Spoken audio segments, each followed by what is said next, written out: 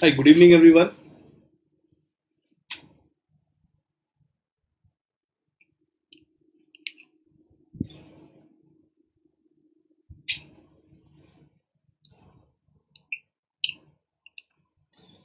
So, good evening, everyone. Welcome to Unacademy. So, one very important thing before we start with the discussion that yes, do not mix, do not miss the grand test which is going to be held on 17th of October. It's a must, must, must, must, must give for all. Yeah. Good evening, good evening, Prince. Hi, how are you? So, yes, you should try to enroll yourself for special classes and make maximum use of the features we have. We have an effective question bank containing 25,000 MCQs and plus. So let us just start straightforward. Let us start with this session of what? Okay.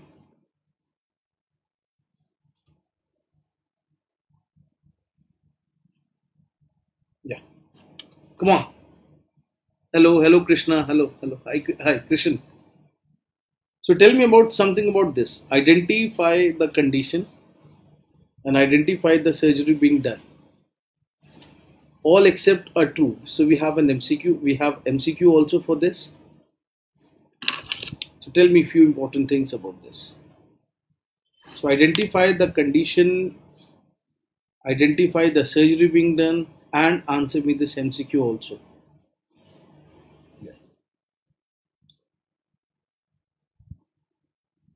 Just a minute.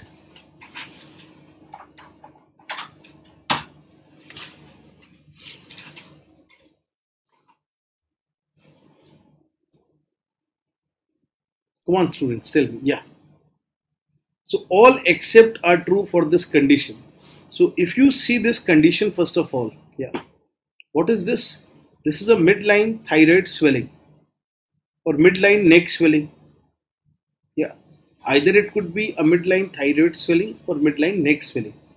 But if you see, you can see by the surgery that this is a what thyroglossal duct cyst with the excision of hyoid bone with this.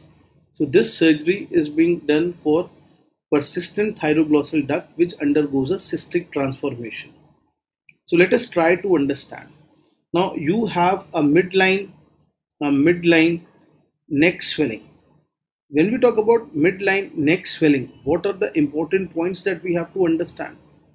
It could be either, it could be either a thyroid swelling it could be either a thyroglossal duct cyst. Now, how to differentiate between them? How to approach them? This is very, very, very, very important. You have to see one classical thing the movement. So, the movement is very, very, very important. So, the movement with deglutition, the movement with deglutition, and the movement movement with deglutition is point number one. And the second is movement with protrusion of the tongue. Protrusion of tongue. Now one very important thing that you have to understand that be it thyroid or be it any swelling which is which is enclosed under the deep cervical fascia this is always going to have movement with deglutition but remember a thyroglossal duct cyst is connected to the base of the tongue so you will have movement with deglutition also and movement with protrusion of the tongue also. So yes, if it is a thyroglossal duct cyst, it will be having movement with the protrusion of tongue as well as the protrusion of as well as the deglutition whereas a thyroid swelling will have only movement with deglutition. Now let us talk about the various important points and then we will discuss about all except are true. Yeah. So when we talk about the miscellaneous things. When we talk about the miscellaneous things about thyroglossal duct cysts. So today we are going to discuss on this topic thyroglossal thyroglossal duct cyst. Thyroglossal duct cyst.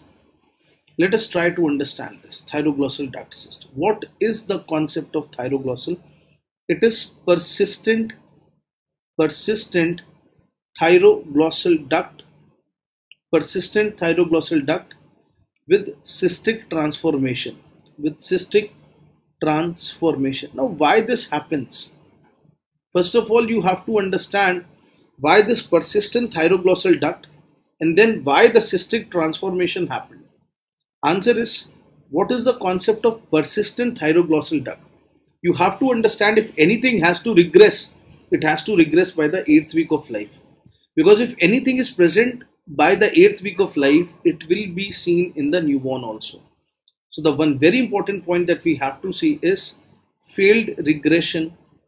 So failed regression of thyroglossal duct of thyroglossal duct by what week of life? So failed regression of thyroglossal duct by eighth week of life. Now, what is the utility of this thyroglossal duct? Let us try to understand this. This is very simple. Now you know, I know, everyone knows that there is something which is known as foramen cecum. So the medial part, the embryonic part is known as anlage. So the medial anlage of the thyroid is located at the level of foramen of cecum.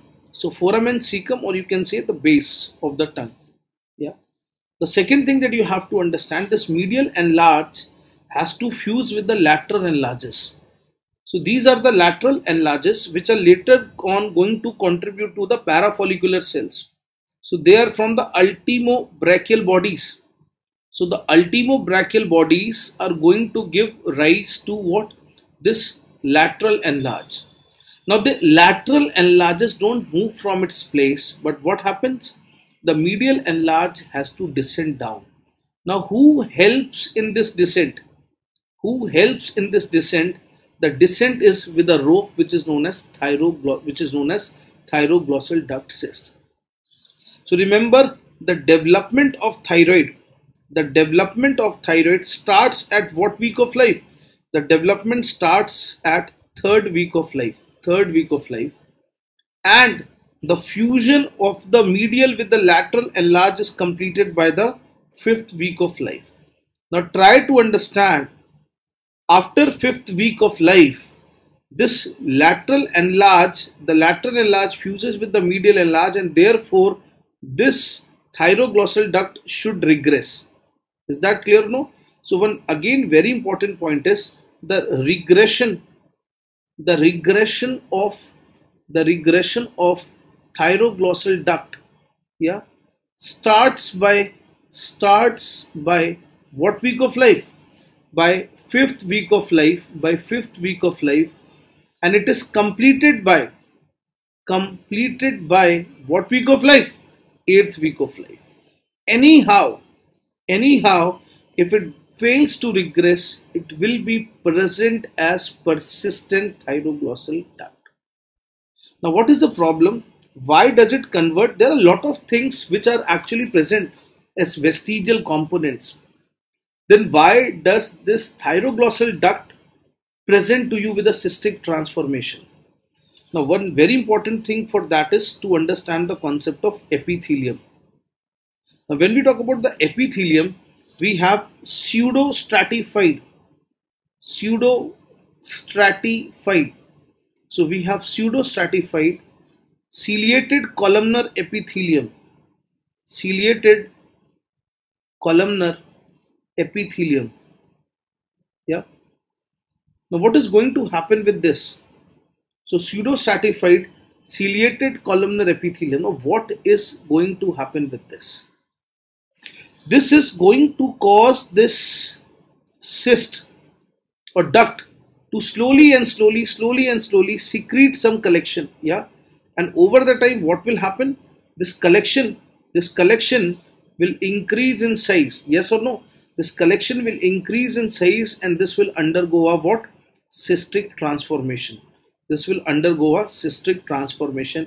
You have to understand one very important point that thyroglossal duct is present at the time of birth.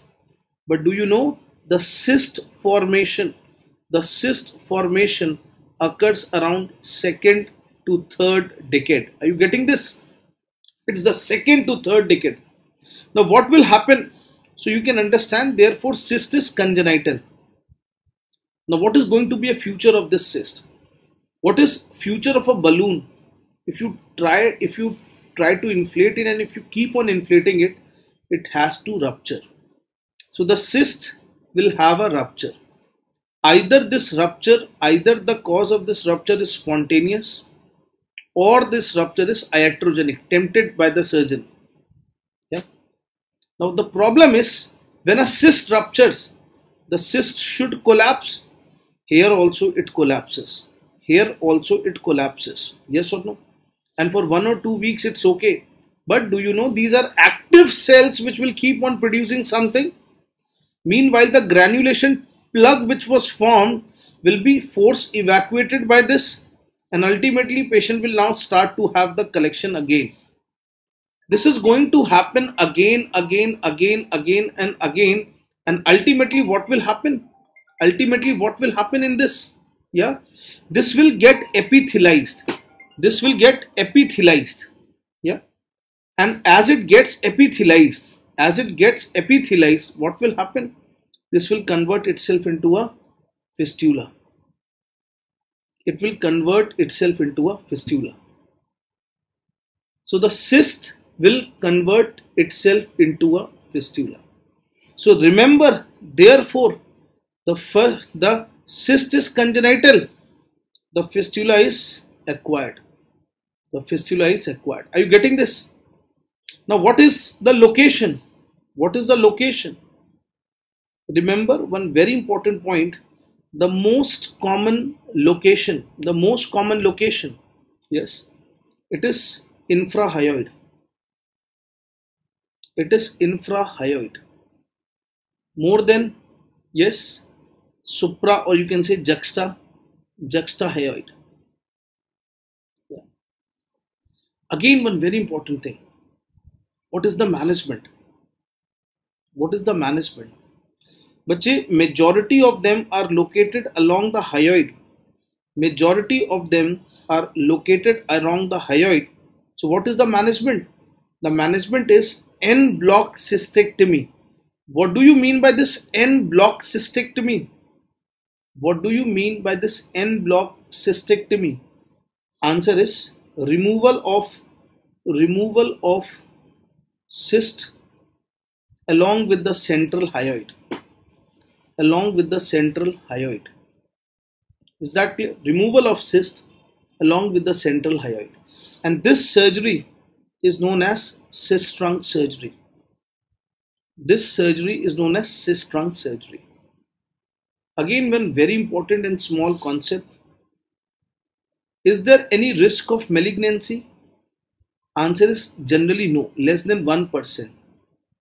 Less than 1% risk of malignancy. If occurs, if occurs, papillary is the most common.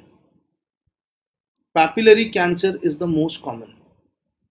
The next is others follicular can be seen anaplastic can be seen what can never be seen medullary thyroid cancer remember medullary thyroid cancer cannot be seen because it's a neuroendo neuroendocrine or you can say a neuroectodermal tumor so mtc can never occur.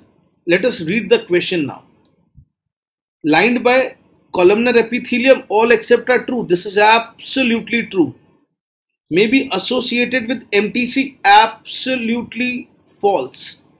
Absolutely false. Infrahyoid is the most frequent site absolutely true.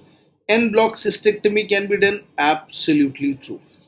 Is that clear or no so today we'll keep a very short discussion. It's Dussehra you also enjoy and take rest. I just planned it uh, so we'll every day we'll have a small topic and we'll discuss on that.